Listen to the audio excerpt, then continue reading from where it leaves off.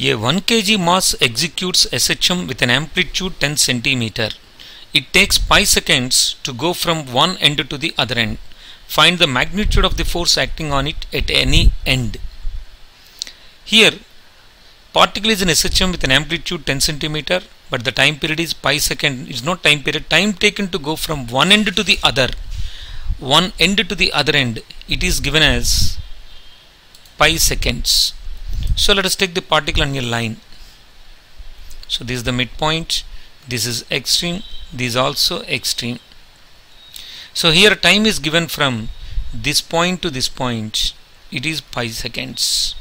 So from this point to this point the time is what we call half the time period. So this is pi or t is equal to 2 pi seconds. This is the time period. Now the question is what is the magnitude of force acting on it at one end.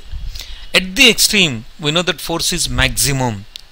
So force at end that is a maximum force which is equal to m a maximum. So it is m into omega square a. So here mass the mass of the object is 1 kg and amplitude is 10 centimeter. So substitute this is 1 kg.